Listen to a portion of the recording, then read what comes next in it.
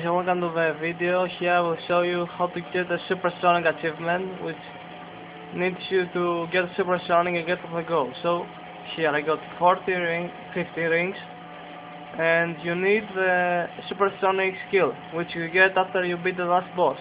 So let's go. So you also emeralds, you get a cool power such flying very fast and there it is.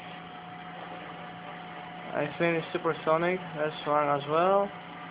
Trophy though, talk about Platinum Trophy. I got the Platinum Trophy. Finally.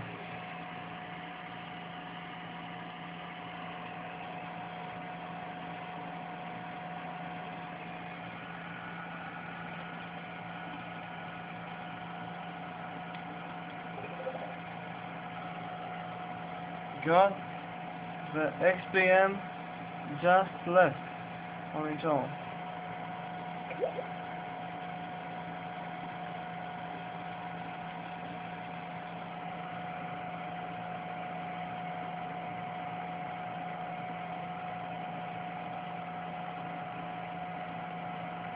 Uh, trophy pictures look really really cool.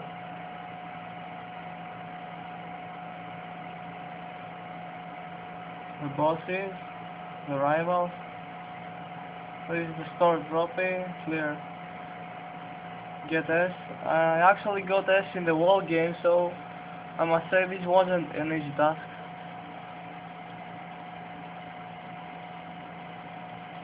This was the hardest drop in the game, as well with S rank. I got S, I got the rankings on all the levels and I did a 30 second test on all the levels. These are uh, miscanalius trophies or whatever they're called. They can be missed. So you need a guide or if you're lucky enough to get them in your normal playthrough. They get all collectibles. This will be uh, trophy you will get after you get all the red rings and beat the whole game and after you beat all the challenges of course.